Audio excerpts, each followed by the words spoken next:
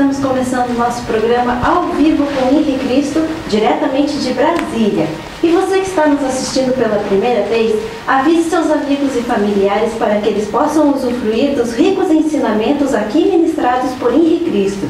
Sejam bem-vindos todos os descontentes, livres pensadores, ateus, curiosos e os que estão insatisfeitos com a sociedade contemporânea. Questionem Henrique Cristo sanem suas dúvidas e vivam melhor na Terra, mesmo em face a um mundo tão conturbado e aparentemente sem esperanças. Todos os sábados, às 11 horas da manhã, em Ricristo.tv, o canal da Liberdade Consciencial. No ar, em Ricristo.tv. Que paz seja No intuito de evitar repetitivas e inoportunas indagações, meu Pai Senhor Deus determinou que após invocá-lo concedendo a bênção, eu proceda com a dissertação antes de responder novas questões. Ó oh Pai, eterno e inefável, Deus infalível, Criador do Universo, das culminâncias do teu reino, do trono do teu poder, do alto do qual teus olhos temíveis tudo descobrem, tudo bem. Abençoe teus filhos com saúde, luz e justiça, porque tua é toda glória para por sempre, ó Pai. Agora, meus filhos, que ouvis falar de guerras, rumores de guerras, reino contra reino, nação contra nação, tempestades, terremotos, inundações, pestilências, fomes. Conscientizai-vos, é apenas o princípio das dores que anunciei para enunciar no meu retorno. Eu sou o emissário do Pai. Reconheço o vosso direito de pensar e dizer o que quiserdes, desde que me respeiteis o direito e dever de esclarecer quem sou. Não escolhi ser Cristo, não posso vos obrigar a saber que sou, mas isto não altera a minha realidade. Pensais que é fácil, obedecendo a meu pai, andar indumentado assim? Os ignorantes zombando de mim? Ainda que os malignos condenaram Galileu, a terra continuou gravitando em torno do sol. Sol brilha e mesmo que todos duvidassem, ele não deixaria de ser sol. Assim também, ainda que a maioria dos terráqueos não creiam que sou Cristo, continua sendo o mesmo que crucificaram. Não me é facultado abrir a cabeça do Nécio com um serrote, introduzir um bilhetinho dizendo: Acorda-te, ignorante, desperta-te, sou Henri Cristo, filho do homem. Somente o demônio. Herodes, possuído pelo demônio, pediu e exige milagres. O maligno disse enquanto eu jejuava há dois mil anos: Se és o filho de Deus, transforme estas pedras em pão. Ao que lhe respondi: Nem só de pão vive o homem. Em verdade, em verdade vos digo, eu não preciso provar nada a ninguém, porque o óbvio é ululante, não carece de provas. Vós, meus filhos, é que necessitais provar que sois dignos de meu Pai, Supremo Criador, único ser incriado, único eterno, único ser digno de adoração e veneração, onipresente, onisciente, onipotente, único Senhor do universo. Lembrai-vos que eu adverti. Orai e vigiai que ninguém vos engane, porque muitos virão em meu nome. Mateus 24, versículos 5 e 24. E os lobos em pele de ovelha, Mateus 7, versículo 15, vieram em meu nome antigo, obsoleto Jesus.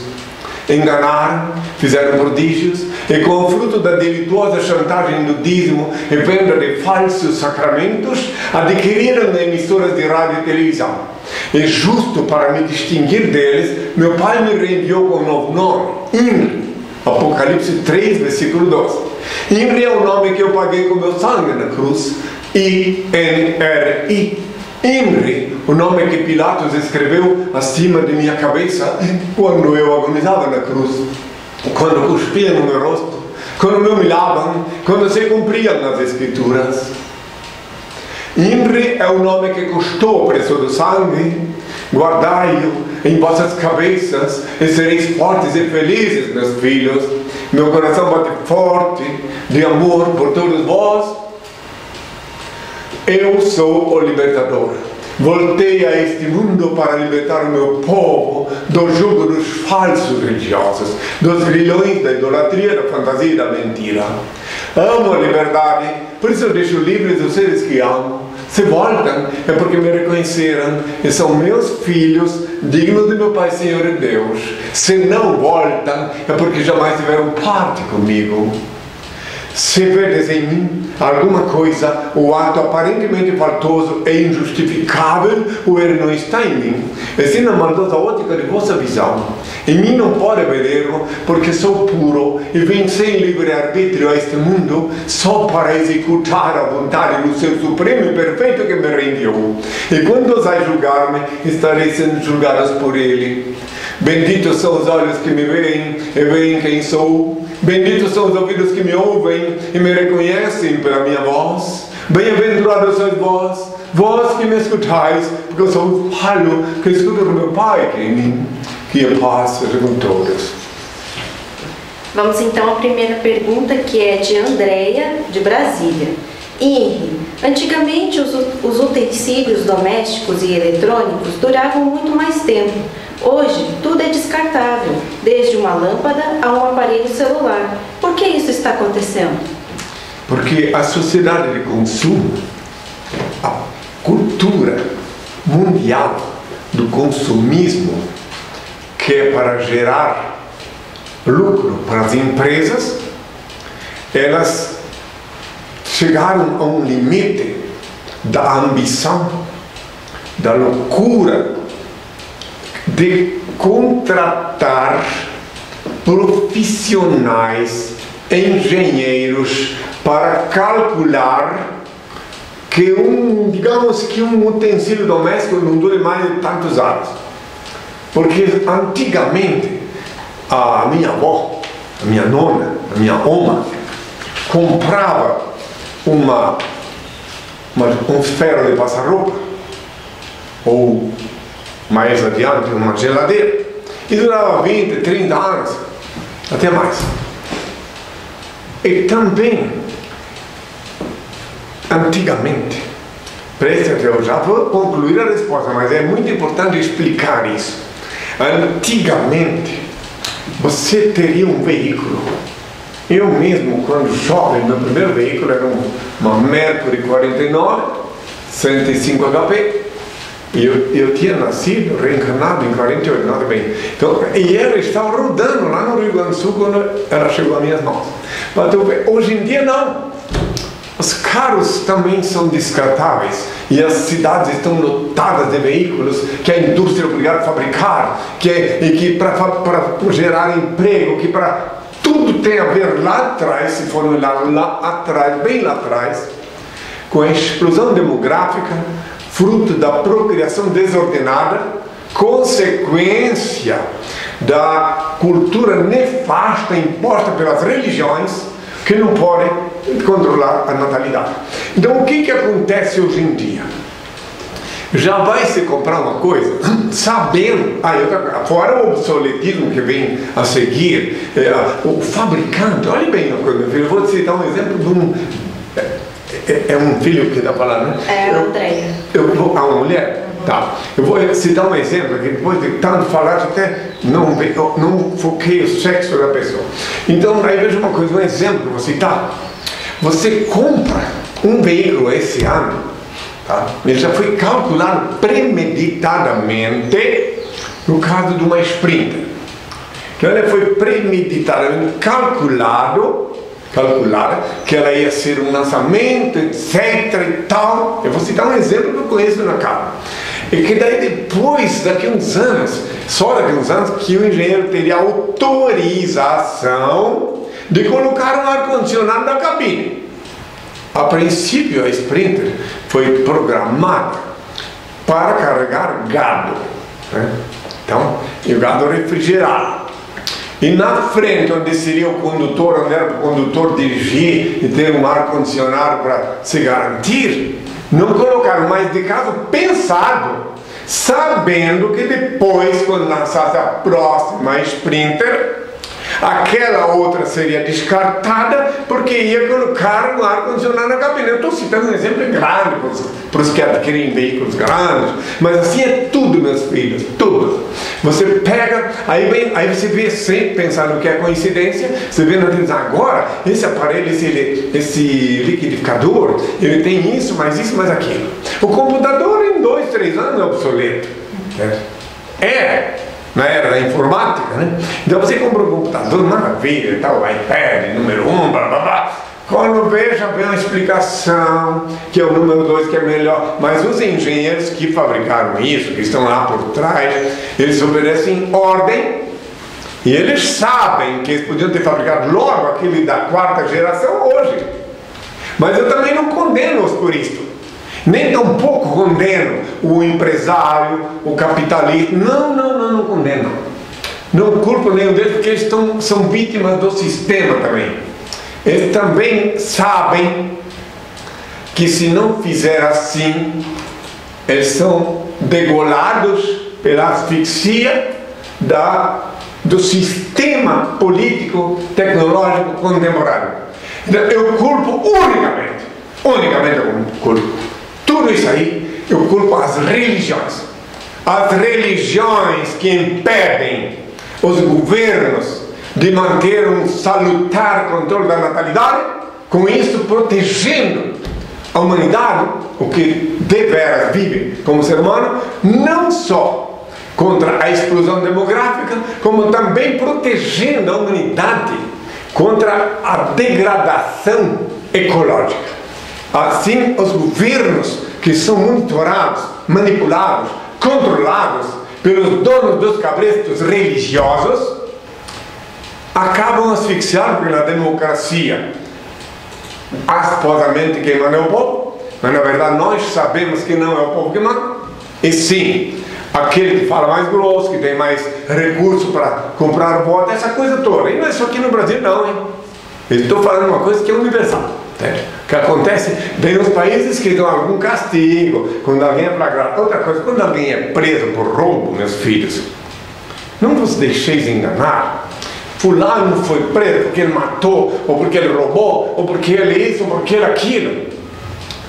Não adianta tirar pedra. Ele não é, a culpa dele não é tão, preste atenção, a culpa maior dele não é ter roubado ter cometido delito. Não. A culpa maior dele é de ser azarado. Azarado. De estar no lugar errado na hora errada. Ele entrou no esquema da investigação e pum, não viu? Estava enquadrado.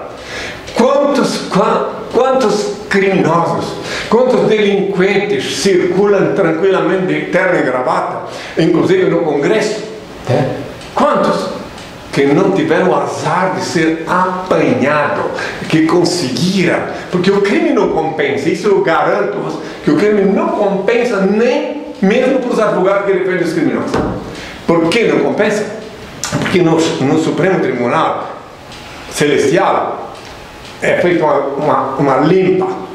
Agora aqui na terra, enganados, os próprios delinquentes são enganados pensando que estão fazendo uma grande coisa pensando que não tem um tribunal superior sobre eles, pensando que, ah, porque eu consegui com o dinheiro comprar testemunha para ficar na cadeia no meu lugar, estou muito bem, formoso. Só que depois, quando ele vai lá pendurar o pé no hospital, fazer necessidade visual com um canuro e coisas assim, ele nem lembra mais do que ele fez lá atrás.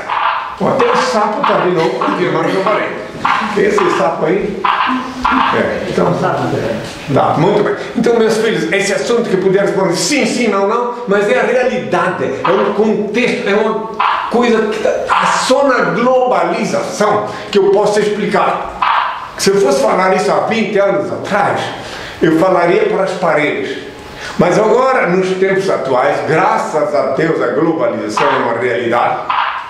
Graças a Deus, todo olho poderá me ver, sim, pela web, conforme eu disse agora de lado.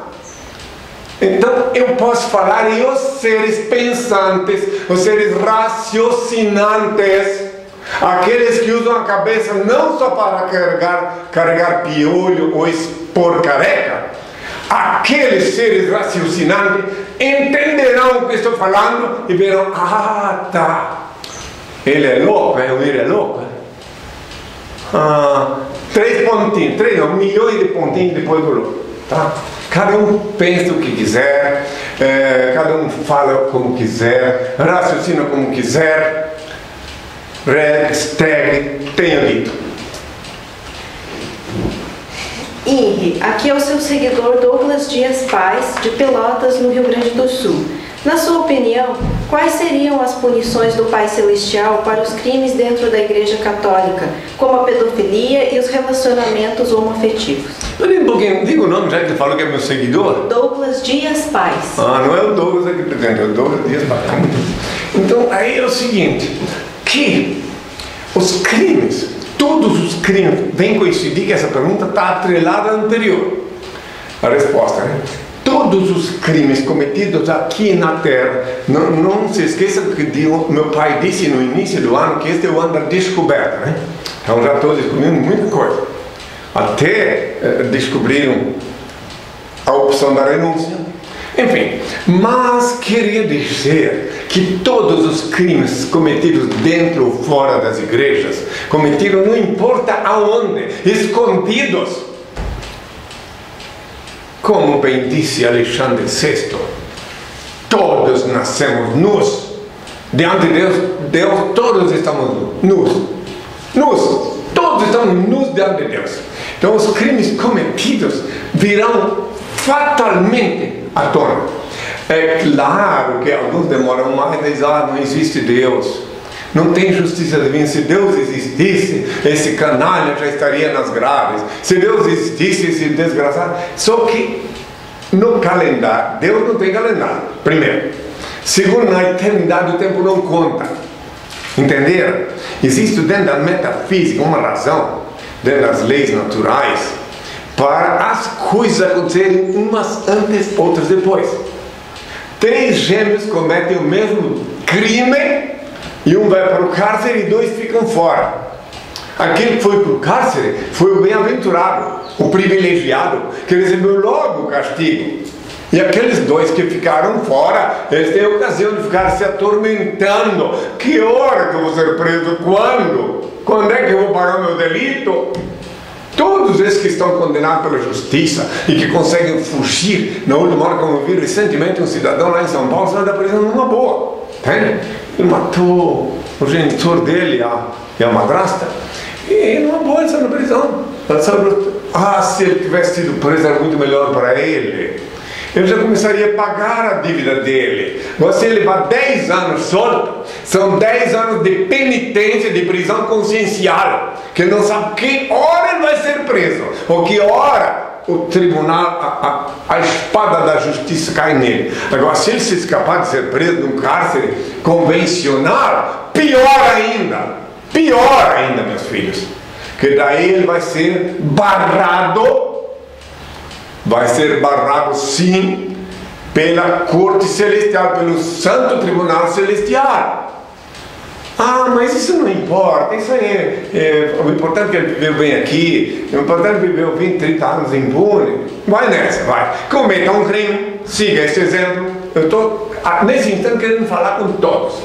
Cometa um crime, siga esse exemplo, depois vem falar comigo daqui 20, 30 anos, mesmo que nós estivermos aqui na Terra, mas venha conversar comigo para tu ver o que, que tu vai me dizer. É, meus filhos, a justiça do homem, dos homens é falha, como eu falei lá na frente do Supremo Tribunal Federal, como lá estive. Eu, eu disse, por que eu estava lá? Porque eu pedi ao Pai que iluminasse, que inspirasse os juízes para que fizesse bom julgamento. Daí o jornalista perguntou para mim se uh, eles iam, se eu sabia a sentença. Justamente porque eu quero que pedir meu pai, porque eu fui muito assim eh, interceptado pelos internautas sobre esse assunto, esse tal de mensagem, pedi ao meu pai que desse, que iluminasse os juízes.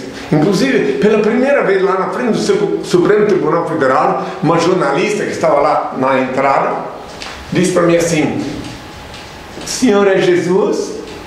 Olhei para ela, Pela primeira vez eu tive essa resposta. Essa não me fazem ser, mas a primeira vez o meu pai mandou responder.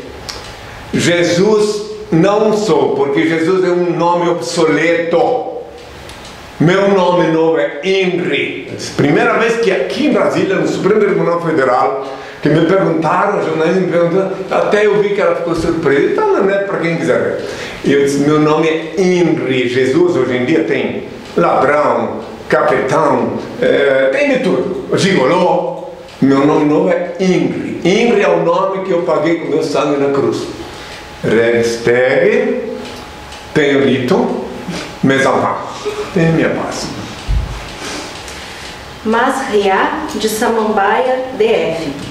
A Trindade ou Santíssima Trindade é a doutrina acolhida pela maioria das igrejas cristãs que professa a Deus único preconizado em três pessoas distintas: o Pai, o Filho e o Espírito Santo? Ou existe somente um único Deus, conforme o judaísmo? Deus não é feito de partes? Um único Deus. Não existe Deus partilhado.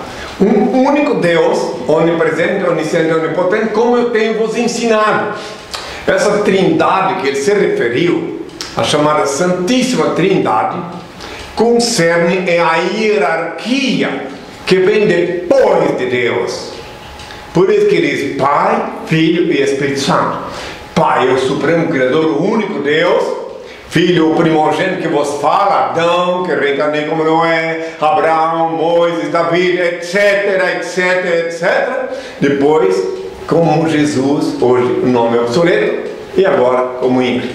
Então, o segundo personagem, o terceiro personagem da, do, da Trindade, lembrando sempre que um só é o Senhor Deus, é o espírito da Eva que não reencarna mais fisicamente, não, ou seja, não reencarna mais, não, não se aposta mais de um corpo físico.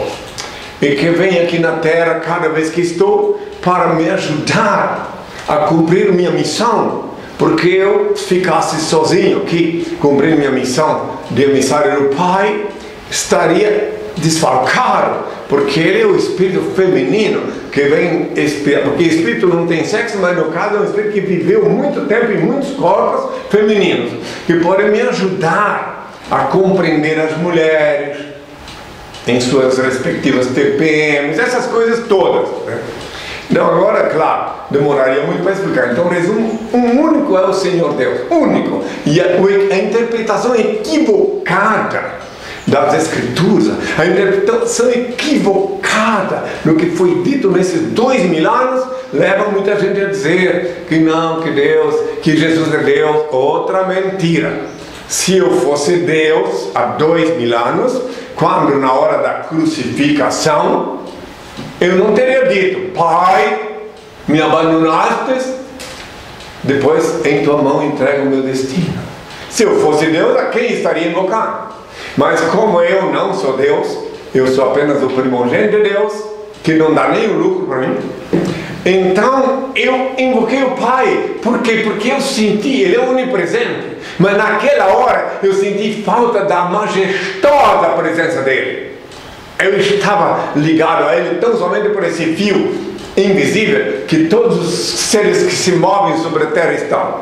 A majestosa presença dele eu senti ausente porque ele não sente chibatada, cuspida, nada. Senti a ausência dele, por isso ele disse: Pai, me abandonaste.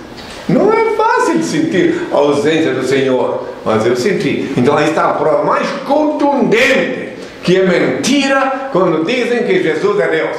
Nem Jesus hoje é um nome obsoleto, mas mesmo agora quero que todos saibam que eu sou servo de Deus, o enviado de Deus o, o escolhido, não o escolhido, não, o ungido. Que Cristo quer dizer o ungido e Messias quer dizer Cristo. Quem quiser vai estudar é a realidade etimológica. Resteg, resteg. Tenho dito, meus enfants, que la paix avec tous. Valmir Klauman, de Aurora, Santa Catarina. Olá, se possível eu tenho uma pergunta. Mestre, no plano metafísico, não seria mais interessante um Papa brasileiro para os inimigos que lutam contra a consolidação do reino de Deus, a Nova Jerusalém em Brasília? Bem, aqui falando, pensando na linguagem espanhola e dando uma ironizada na pergunta, aqui tem bastante papa, porque papa quer dizer batata os espanhóis. Então, batata aqui já tem bastante. Agora, papa, no sentido que ele fez a pergunta, eu não consigo ver um brasileiro que queira sentar, assar o rabo, sentar naquela cadeira engrandecendo. Eu não consigo ver qual é o brasileiro que vai aceitar uma coisa dessa. Que aí depois não pode reclamar para mim. Tá? Os brasileiros geralmente saem de fininho. Eles não querem sentar numa chapa quente. Porque quem sentar naquela cadeira vai ter que enfrentar, encarar de frente, sim, o controle da natalidade, união homoafetiva, a corrupção, incluindo a corrupção interna. Né? Qual é o brasileiro que gosta de boa vida, que vai querer sentar numa cadeira caliente como aquela? Eu preciso ver para crer. Eu não creio. Mas se tiver um raçudo lá, que vai sentar lá, é porque Deus permitiu, porque nada acontece na terra sem o consentimento de Deus. Ninguém é eleito, mesmo nas ditaduras, nenhum homem senta no trono do poder sem que Deus permita, porque Ele é o Senhor. Nada acontece, se acontecesse alguma coisa na terra sem o consentimento de Deus, para mim, então ele não existia. Eu estudei história, antropologia, biologia, eu sou teodidata, não estudei em escola. Mas meu pai me ordenou que estudasse e compreendi bem tudo o que aconteceu na história recente da humanidade, as guerras que estão acontecendo. Meu pai me, me coagiu, sem livre-arbítrio, a estudar coisas horrorosas que já aconteceram e que estão para acontecer. Ele é o Senhor, eu obedeço humildemente ao Senhor. Hashtag, tenho dito, mes enfants, que la paix Célia Lima, do Paraná. Inri, a primeira mulher de Adão foi Eva mesmo? Não foi Lilith não, né? Bom, é o seguinte, o nome não vem ao caso. Na verdade, primeiro, segundo nos conta a Bíblia, a princípio ela se chamava Virago, ou Viriago.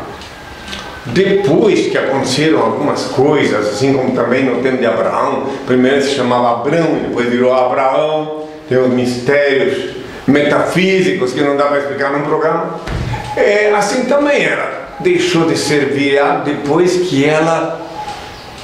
Eu não lembro bem se depois que ficou grávida, eu não lembro. Eu sei que tem um momento que o Senhor mudou o nome dela depois que foi expulsa do Éden. Ai, não se equivoquem, não se iludam pensando que a Eva e Adão foi expulso de um lugar cheio de maçã, uh, um lugar bonito. Não, não, não, estão muito enganados. A Bíblia é um livro de letras mortas, repleta de fábulas, lendas, parábolas e metáforas principalmente. Então, ela foi expulsa do Éden, ela e Adão que vos fala, na cabeça, assim como hoje também. Quem fizer violar a lei vai ter, criar o um inferno na cabeça. O inferno é na cabeça de quem viola a lei.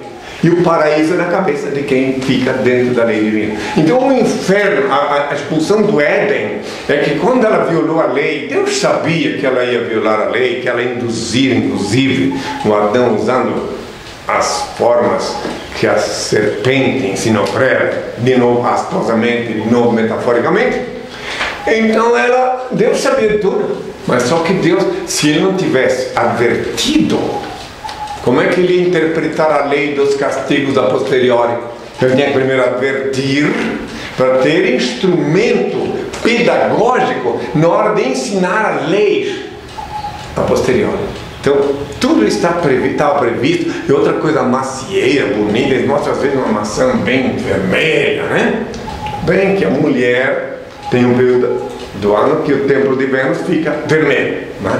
uma vez por mês, né? Então, mas não tem nada a ver com aquilo que imaginava, né? nada.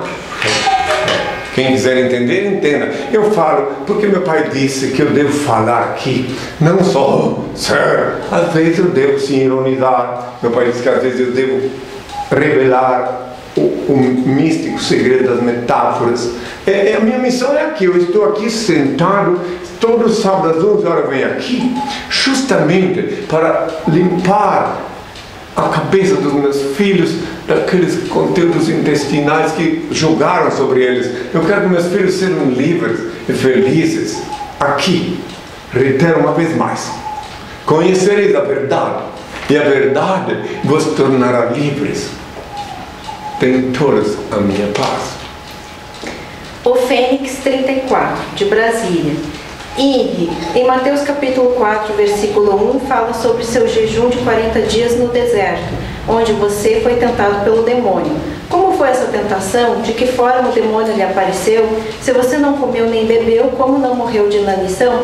Henri Cristo responderá logo após o intervalo. Já voltamos. Voltando, pessoal, vamos à pergunta do Fênix.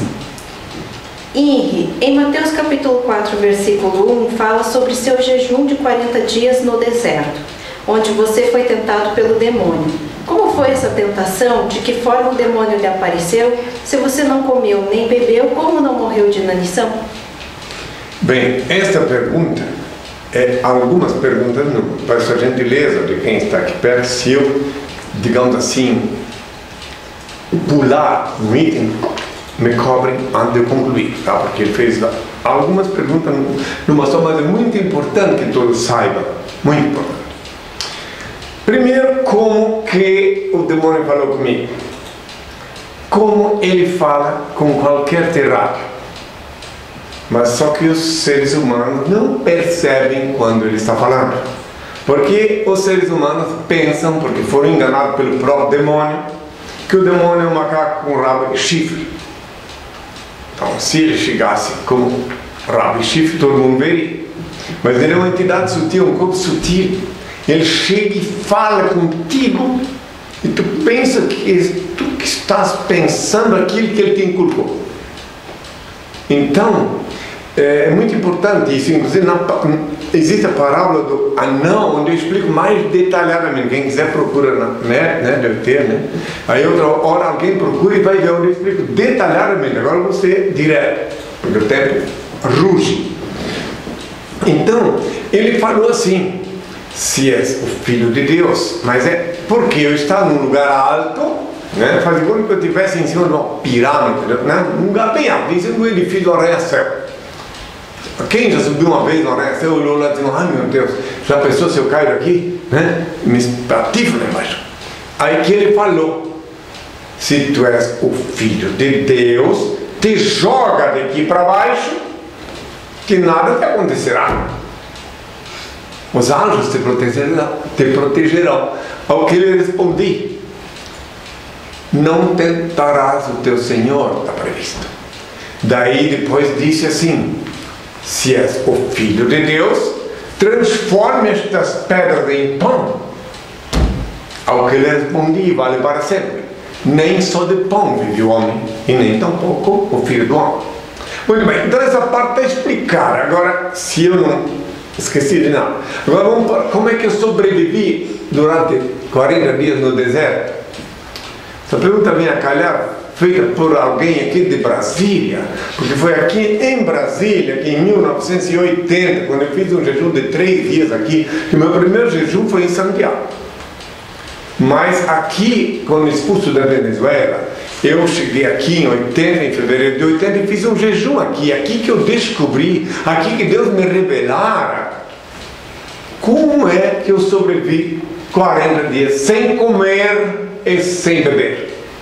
Então, uma cidadã aqui de Brasília, que eu não vou citar o nome dela para não comprometê-la, porque de repente, só se um dia ela disse assim, eu gostaria que tu falasse que foi comigo a coisa.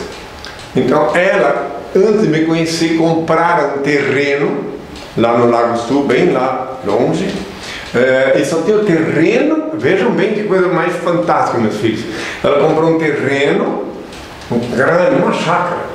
E lá só tinha um banheiro, né? olha bem, um banheiro que mandaram construir e tinha um casebre onde ficavam as pessoas que cuidavam do terreno, cuidavam do terreno para não haver invasão. Inclusive eles eram fariseus, não gostaram quando eu fui lá. Então quando eu estava terminando minha audiência pública lá em Sobradinho, porque no Hotel das Américas eu tive que ir lá para o Sobradinho quando o dono do hotel me chamou e disse que nada contra mim, tal, mas aquela multidão ali do lado de fora era um atrapalho para ele. Os viajantes já estavam começando a reclamar que cada vez que entrava eram interceptados. Então eu fiquei 15 dias lá em Sobradinho, recebendo o público lá. E a última pessoa que veio me interceptar lá em, em Sobradinho era essa socialite acompanhada do jornalista Heitor de Andrade. Esse eu posso falar o nome porque ele não, ele é uma pessoa pública. Né? Então eu disse para ela: Olha, eu estou terminando, você por acaso é a última pessoa que veio tomar a bênção, deles a bênção, e disse que eu ia sair dali e ia jejuar, só que não sabia aonde ainda. Olha que coisa incrível. Ela pegou, pois eu tenho um local onde você pode jejuar. Eu compro uma barraca, tenho o banheiro já feito, e você pode jejuar lá. Eu tenho que jejuar três dias. Aí ela me levou lá nesse local acompanhada de seu respectivo marido, tudo, né? Ele ajudou a montar a barraca. E eu só não falo o nome dela porque ela disse para mim depois que eu voltei ao Brasil, voltei aqui já declarando quem sou, naquele tempo eu me apresentava como profeta. Disse assim, aí, Cristo é muito socialmente comprometedor. Eu senti que ela não gosta se um dia ela quiser, ela dirá onde é que ela, onde é que eu, eu sei onde é que é o local que eu jejuei. Muito bem, então daí, para facilitar uma pessoa que, que, que me assistiu quando estive aqui, eu fui jejuar lá, veja, Deus mostra as coincidências que Ele prepara. Eu estava jejuando lá, do lado de fora da barraca que ela instalou, era um lugar muito lindo, assim, não menos do que aqui onde estou falando aos meus filhos. Um dia de manhã estava até chuviscando, lembro como se fosse hoje, e aquela chuvinha fina. E eu saí da barraca com fome, já era o segundo dia de jejum, e sei, água eu tinha para beber, mas a fome não. Que o Senhor disse que eu tenho que jejuar três dias. Aí do lado de fora da barraca tem um maravilhoso pé de cactos desse, palmas, que lá no Nordeste chamam de palmas e dão para o gado comer, que nem sabem que nós podemos comer. E nós temos, plantado aqui na casa do meu pai ali, para eu olhar todos os dias para ele, de tão que simbólico que ele é para mim. Não dá para localizar agora, não dá, muito longe. Então, é, não dá. Este pé de palma de cactus, quem vai lá buscar pelo menos uma, busca um pedaço aí para mostrar para ele. Ali, aqui atrás. Para onde? Colhe uma palma dessa com dois, só para mostrar. Então, esse pé de palma, né, meus filhos, que estava ali fora, daí o Senhor disse: Cala a boca, estou falando, falar.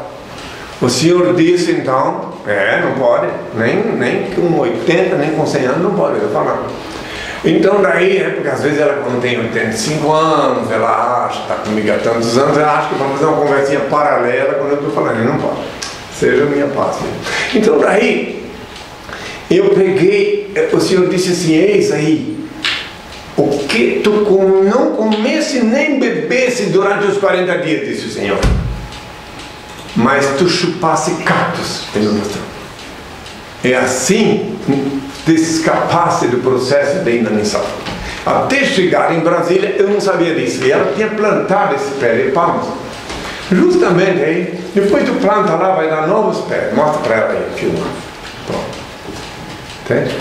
A, a Ione, que é a jardineira, que cuida dessas coisas aí para mim, pai, o Senhor te abençoe. Dankeschön. Então daí, ele disse que eu durante os, respondendo a pergunta do internauta de Brasília, justamente, que eu chupei, não comi, como está na Bíblia escrita, e nem bebi. Olha que planta bendita essa aí. Chupei cactos para não sofrer um processo de inanição. É fantástico como o Senhor me mostrou. Daí quando cheguei no México, bem mais tarde, Mas ainda no ano, nos anos 80, no final dos anos 80, no, no meado, constatei que lá no México eles servem no restaurante, servem no restaurante, está no cardápio dos mexicanos como ensalada, que quer dizer salada em espanhol. Digo, olha só, no Brasil tem tanto, eles só dão para os animais. Às vezes uma pessoa tem uma, uma, uns pés e nem sabe que no caso de emergência é nutrição. Então, eu espero não ter esquecido nada concernente a essa pergunta. Deu? Muito bem. Tem toda a minha hashtag, tenho dito, me amparo. Luizão de São Paulo. Henrique Cristo, quando vão legalizar a maconha? A maconha é uma planta bonita que não teria nenhuma inofensiva se não fosse usada indevidamente. Assim como a cocaína, que lá em La Paz é obrigatório tomar chá de coca por causa da altitude. Eu vivi dois meses em La Paz, lá que eu fiquei sabendo. Então o problema é que existe um processo laboratorial no caso da cocaína que depois provoca toda essa desgraceira que acontece quando andar com aquele cantor que recentemente foi vítima dessa loucura que é a droga. Agora, a maconha tem alguns países que já legalizaram. E já que ele me fez saber, como é o nome dele? Luizão. Luizão, Luizão, ele é um Luiz grave, né? Então, olha assim, eu vou responder o seguinte, que ela vai ser sim legalizada. Quando o governo federal e os legisladores entrarem num consenso inteligentemente compreenderem que cobrando altos tributos da droga vendida legalmente, usando-se esses tributos que gerariam bilhões de lucro para construir sanatório, para dar assistência para os infelizes que são vítimas dessa loucura, dessa, desse absurdo que é a droga, e uma outra parte para gastar em publicidade, campanha massíssima de publicidade, mostrando o que acontece com quem ingere essa droga. Se o governo resolver, quando ele resolver inspirar, legalizar, ele eliminará, ele de uma só pancada, ele ceifará a ideia de alguém ser traficante. Porque ninguém vai querer ser traficante de droga e oferecer a primeira dose gratuita se sabe que depois o viciado vai comprar ali na esquina e o lucro vai para o governo e não para ele. Então a solução a longo prazo tem presidente, tem governantes que já entenderam isso. Eu venho falando há muitos anos. A longo prazo é o governo se acordar que não adianta matar, perseguir, enquadrar viciados nem traficantes. Quanto mais isso acontece, é igual que dá soco, murro em ponta de faca.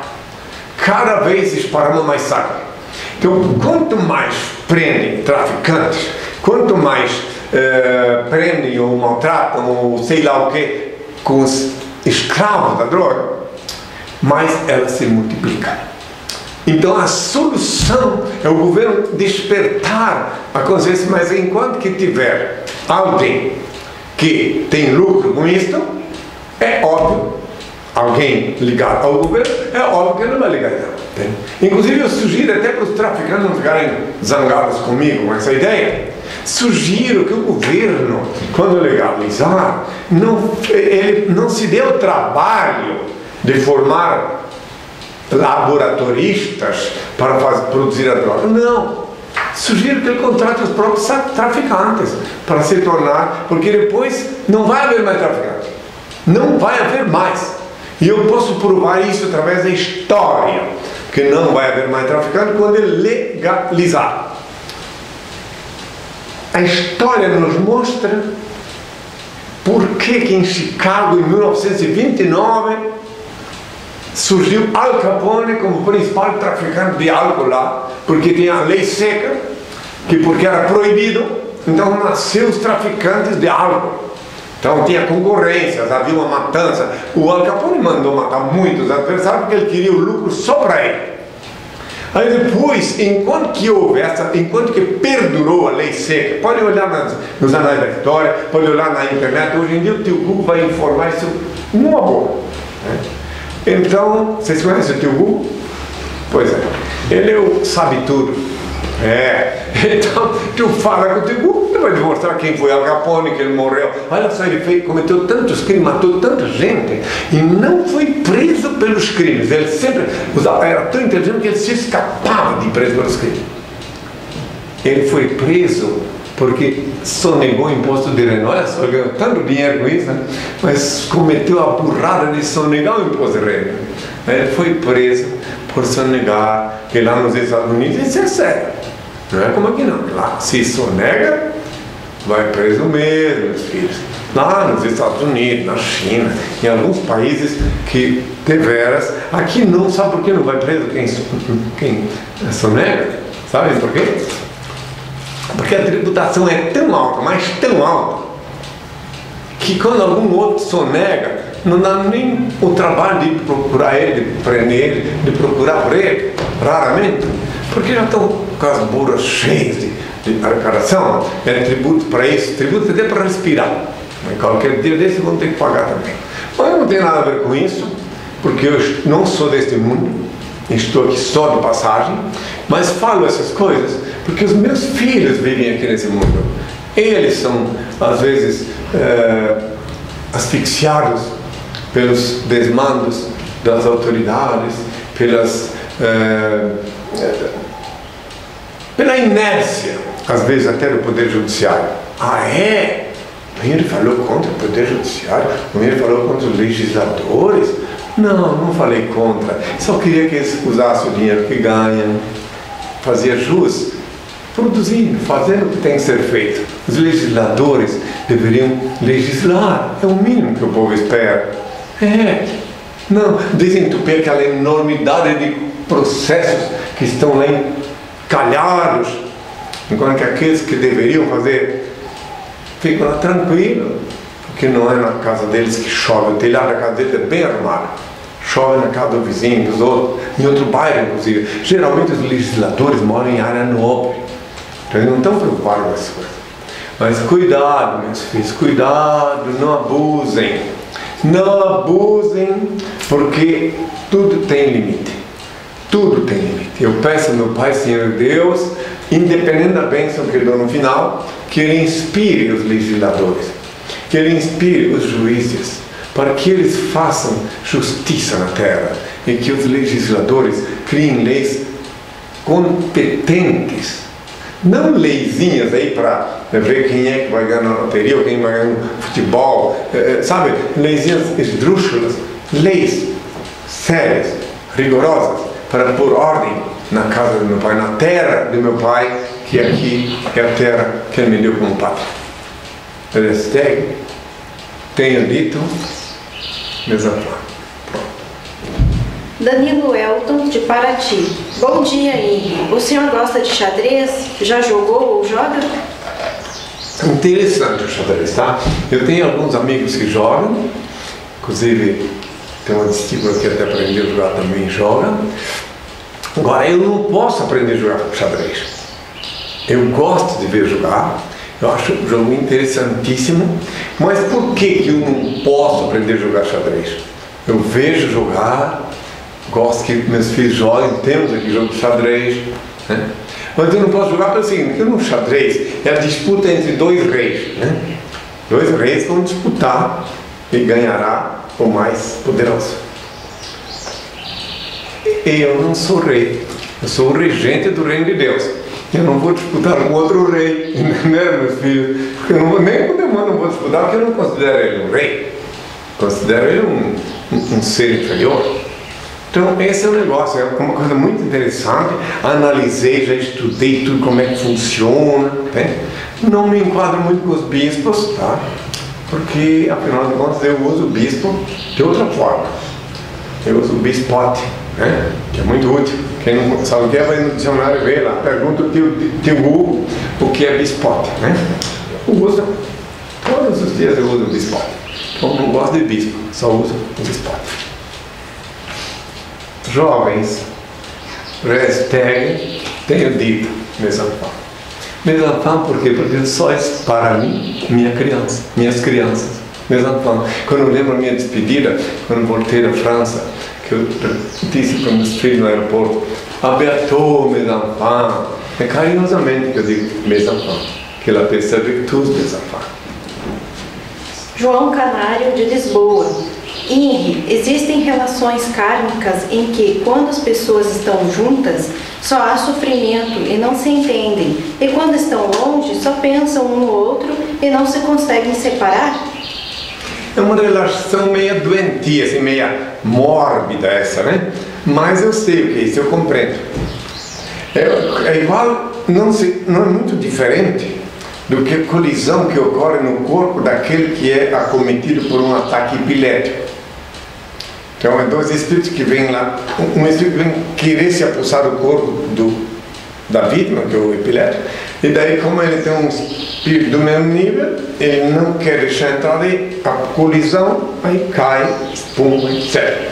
Então, como umas pessoas que têm que conviver junto, por motivos karmáticos, predestinação, se preferirem, é óbvio que quando estão juntos, elas não sabem, não têm consciência das vidas anteriores, mas existem umas energias né, que de vez em quando é, se afloram. Né? De vez em quando ela não custa nada vir um espírito das trevas dizer, olha lá, ele é teu inimigo, não, e não diz mais nada, só diz, isso aí não gosta de ti. Daí ele vai lá para o outro e diz, é, tá vendo? Ele não gosta de ele pula de uma cabeça para outra. Quem quiser entender melhor isso no âmbito filosófico, leia Khalil Dimna. Lá está bem explicado. Khalil Dimna é um livro de filosofia magnífico, maravilhoso, é, escrito há cerca de 1800 anos, e cujo escritor não levou a sério o que escreveu, por isso que ele foi esquartejado. Olha só a história. Interessante. Ele escreveu o que ele coletou de outros filósofos e na hora do vamos ver, ele não levou a sério e foi sacrificado, esquartejado, porque não levou a sério o que escreveu. Khalil Dimna. Né? Mas tradução correta, boa, de Monsieur Chalita. Tem, ninguém é obrigado a ler. O livro vê todos os personagens do livro são todos animais, é a zoologia, mas cada animal representa um ser humano. Kalila e Dimna. Charles, olá, Falo de São Paulo, capital. Inri, por que é tão complicado às vezes nos darmos bem com nossa família? A resposta simples para facilitar é que os parentes a gente não pode escolher, os amigos a gente não pode. Os parentes são uma imposição justamente atrelada à pergunta anterior, uma imposição karmática. Não raro a divina providência coloca o algoz, hierarquicamente, por questão até de justiça, numa posição familiar inferior à vítima, para tá bom, para paulatinamente promover justiça. Cada vez que ele fala, esse bichinho aí, tu mostra, ele ver que, que não é eu que estou tendo esse tipo de comportamento, né? É importante, agora você pode cobrar dela. Cada vez que o bicho falar, vocês lá que estão em casa podem ver. Opa, ela esqueceu, assim, cinegrafista, de mostrar o bicho, né? Esqueci mesmo. Como Pois aí, eu já avisei várias vezes. Tem que mostrar logo para saber que não sou eu que produzo esse tipo de som. Mostra agora. Vídeo. Pronto. Ok. Hashtag. É, acabou? Vamos para a próxima pergunta, que Aí é, eu respondo mais um, daí sem hashtag, entendi. Vamos. que é do Michel de São Paulo. Inri, é possível amar o próximo permanentemente ou isso é uma questão de evolução e não adianta forçar a barra? O próximo é difícil amar permanentemente. Mas quando o próximo não fica tão próximo, daí o amor renova-se. né? Que o próximo, para amar ele permanentemente, tem que ter uma, algo muito profundo, muito, muito simbiósico. Agora, o próximo, quando fica um pouco mais distante, pode amar mais. Eu, eu cito um exemplo. Tenho filha que mora lá no Portugal, né? que faz 20 anos que eu não vejo, né? lá em. E ela, mas como me ama, me manda aquela carta, entende? E quando eu estava lá em Curitiba, não tenho que estar sediado lá, nem sempre ela obedecia as regras, tanto é que por isso ela foi obrigada a abdicar da túnica. Ela para vir do Portugal, especialmente para viver comigo, faz o quê? Vai fazer 30 anos. E daí, lá ela, olha, ela todo dia quase manda mensagem, ainda que saudade e tal.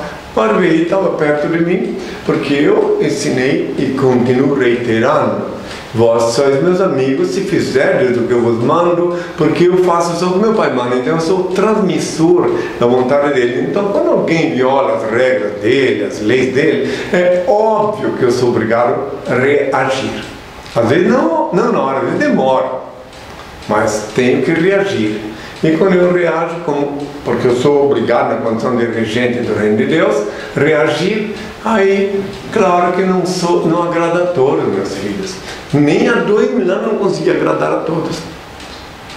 Se tivesse conseguido, não teriam me crucificado. Mas voltando ao amar ao próximo, que é o que é objeto da pergunta, que no convívio cotidiano é que se conhece as pessoas. Quando já nascem juntos, já se conhece desde criança. Até os animaizinhos também são assim. Agora, quando vão juntar escova de dente, né? vão juntar, vão se unir por laços afetivos, né? Nesses longos anos que eu tenho de vida pública, primeiro 10 anos como consultor metafísico, de 69 a 79, depois de 79 até aqui, eu tive a ocasião de observar como as pessoas se revelam só depois que conseguiram o que queriam.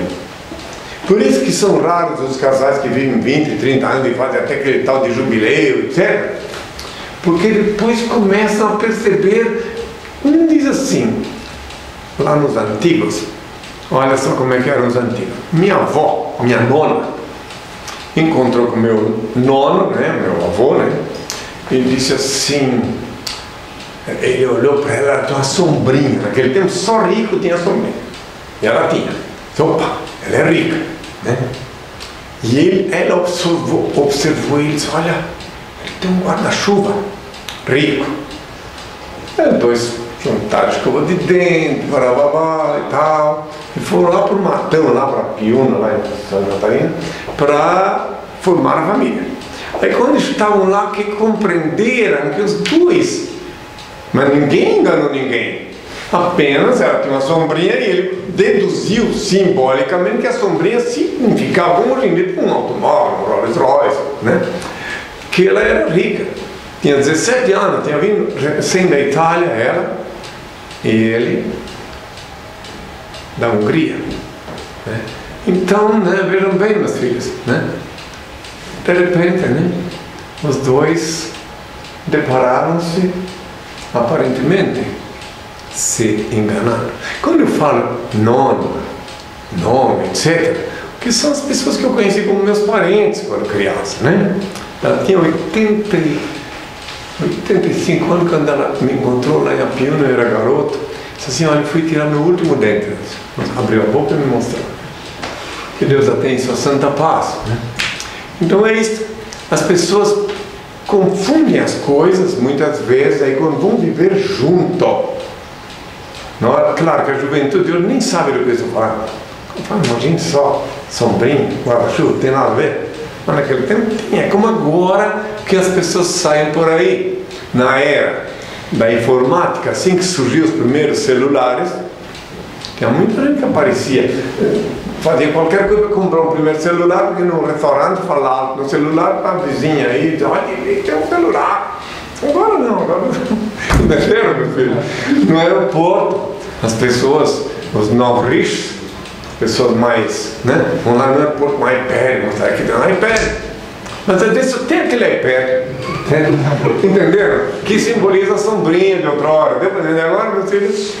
É, a minha tentativa, minha tentativa de explicar dentro da simplicidade a realidade contemporânea. Então eu conheci muitos casos de casais que se juntaram, fazer. Aí eu passo os três anos primeiro, aqueles três anos, que são os três anos, chave. Aí depois só ficam juntos e tem uma ligação profissional, uma liga, ou se nascer um filho, aí fica na base da jantar. Né? Aí, geralmente, é, e se separar, eu fico com meu filho não deixo ver, não deixo ver. Aí tem que entrar na justiça, para a justiça decretar que fulano vai ver o filho, essas coisas todas. Por conta de uma coisa assim, que houve esse crime grave, recentemente julgado em São Paulo. É, porque a pessoa foi lá e tal, né? e conseguiu uma semente do jogador. Né? E por conta dessa semente, ela achou que ia conseguir tudo. Minas Gerais. Hã? Minas Gerais. Sim, mas foi no Rio de Janeiro que ele era jogador. Deu, né? Em Minas Gerais aconteceu a, o desfecho, né? Mas foi no Rio de Janeiro, né, que a Madame Chuteira foi né, encontrada. Né?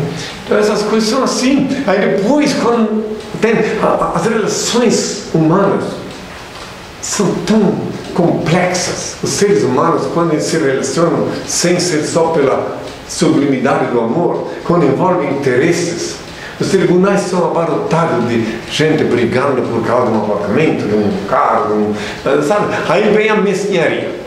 Depois que termina aquele love story, aí vem a hora de quem mais pode chorar menos. Por isso que existem leis com comunhão de bens e separação de bens, essas coisas.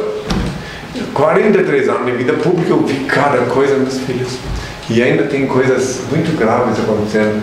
Então, a outra coisa que eu escutei na, numa rádio noticiosa de manhã, que Brasília está, até vamos olhar lá, se ninguém quiser olhar lá, a estatística aqui, onde mais mulheres foram assassinadas, vítimas de violência, nesse ano que passou, esse último ano. Tem? Que é muito triste, eu, eu vejo por que, que isso acontece, porque as pessoas, tudo que tem a ver com a possessão de alguém, querer possuir alguém. Quando a mulher resolve se separar do homem, daí ele resolve, ah, tu não fica comigo, não fica com ninguém. É? E tem escola cultural para isso. Aqui, por exemplo, tem aquele Pimenta lá que matou a amante, né? lembra? O jornalista lá do Estadão, né? E daí isso vira escola. Ah, não ficou comigo, não vai com ninguém. Ora, meus filhos, em vez de cometer um crime, em vez de matar alguém, porque se alguém não quis viver contigo, ora, meus filhos, peça ao Pai que te explique o que tem melhor ali na frente. Que às vezes a pessoa está vivendo contigo ali e tu queres obrigar ela a ficar contigo. E ali na frente, Deus tem um propósito, um desígnio para aquela pessoa e também para que ela desocupando a moita. Né? E uma outra pessoa às vezes vai chegar e escrever um pendente enquanto o homem fica desesperado. Né? Não é só homem não, também vejo mulheres que uh, fazem chantagem, ameaças, etc. Como é o caso daquela uma que foi assassinada, brutalmente assassinada. Porque a palavra chantagem é a palavra que está na ordem do dia, na sociedade contemporânea. Então, tem que, todos que me ouvem, eu gosto de chamar a atenção para fazer um, um exame de consciência, pedir ao Pai, e eu insisto em dizer de novo, orar no quarto com a porta fechada, meus filhos. Lá é lugar de orar como ensinei a Dominano, de Mateus 6, versículo 6. Eu disse Mateus 6, versículo 6. Lá você aprende a orar no quarto, a porta fechada, e não é coisa que eu estou ensinando de agora, não. Já ensinei há dois minutos, que é o único lugar mais forte, o lugar melhor para estabelecer uma simbiose com o Pai um quarto com a porta fechada, que aí não tem ninguém para te atrapalhar, não tem cachorro para entrar fechando a porta, entende? Orar em público não é pecado. Não, é só que daí tu ora assim ao vento. Não é para atingir. Ah, e outra coisa, meus filhos, abrir os olhos na hora de olhar em direção ao infinito. Se tiver um telhado acima da tua cabeça, tens que transcender o telhado com os olhos abertos, alcançar o infinito para que tua oração chegue lá. E na hora de dizer, ilumina-me, faz assim e sentirás, sentireis nas mãos formigamento da energia do Pai. Agora vou concluir lembrando uma vez mais que aqui conhecereis a verdade. A verdade vos tornará livres. E que, na luz de meu Pai, Senhor e Deus que é em mim, eu continuo sempre amando todas as criaturas que se movem sobre a terra, sem exceção.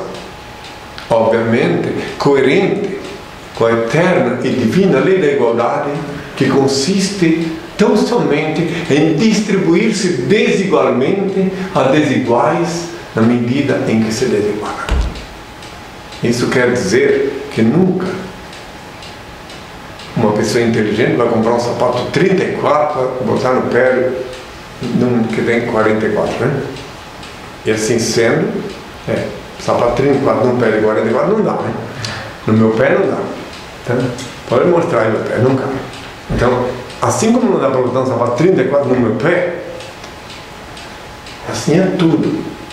Atrelado à lei da igualdade, que Vale lembrar uma vez mais, consiste unicamente em distribuir-se desigualmente a desiguais na medida em que se desigualam. Essa lei, ela, antes da queda do muro de Berlim, muito antes, ela está em vigor. Esta lei é eterna, para frente e para trás. Quem observasse essa lei nunca seria vítima da utopia do comunismo. Porque essa lei é uma lei eterna que já existia antes da Revolução de 1917 da Rússia, só que nem todos observam. Porque às vezes quando a lei é perfeita e eterna, dizem que só os loucos observam. E quem são os loucos? Senão o, o louco é o pai da filosofia, da arte, é o gestor da arte e da filosofia não confundir louco com demente. Demente é, deficiência mental. E o que é considerado pelo vulgo, pelo estevô, como loucura, é alguma coisa que passa, transcende a capacidade de compreensão dos que seres que rastejam. Quando transcende da capacidade de compreensão dos limítrofes, é loucura. Como todos os inventores do passado foram qualificados de loucos. Todos sem exceção. É só inventar uma coisa que o povo não compreende, ah, é louco. Santo não pode ficar louco muitas vezes. É. E hoje em dia a gente anda de avião. É. É. E assim é tudo. Pensai nisso, meus filhos. Que o Altíssimo inspira, mas nem sempre todos conseguem captar a mensagem mística que é a mensagem da inspiração. Finalmente, eu vou pedir ao Pai que os beneméritos, a confraria dos beneméritos, lembrem de colocar a mão assim, e os que estão chegando também, sempre colocar a mão assim, na hora que eu peço a aqueles que querem a bênção. Às vezes eu encontro na rua, um lugar, uma pessoa ah, eu posso tirar uma foto? Eu não sou artista, não sou atleta, então não posso tirar foto assim como artista. Tu queres tirar uma foto comigo, meu filho? Eu peço ao meu pai uma bênção. Se na hora que eu estou pedindo a bênção, por dar minha mão na tua glândula pineal, alguém fotografar, pronto. Mas eu não posso posar como artista. Entende? Antigamente, essa ordem do meu pai, ficavam ofendidos quando eu dizia que não posso tirar foto. Agora não. Aí se a pessoa diz, ah, não quero bênção então, também não pode tirar foto. Pronto. Entende? É isso. Eu ainda, olha só, eu ofereço amorosamente uma bênção. Né? E daí, se a pessoa quiser, ela participa da benção. Saem diferentes, saem felizes. Esses dias eu estava lá no pontão, tinha um grupo de pessoas até de fora. Tem um japonês de São Paulo dizendo, ah, eu queria uma foto quando eu expliquei, botou as mãos assim, tomou banho, daí já a mulher estava lá também pediu. Aí as pessoas é, veem que eu, que eu não sou artista, eu não sou artista. Eu amo a arte, amo todas as formas de arte, todas as expressões. Mas só que meu pai não me enviou aqui como artista e sim como servo dele. Agora vou pedir para ele, Pai. Oh, Pai, eterno e inefável, Deus infalível, Criador do universo, das culminâncias do teu reino, do trono do teu poder, do alto qual teus olhos temíveis tudo descobrem, tudo veem. Abençoe teus filhos com saúde, luz e justiça, porque tua é toda glória todo sempre, ó Pai, que a paz seja com todos. Hashtag, falei, tenho dito, mesafá, que ela pense Uma excelente semana a todos e até sábado que vem.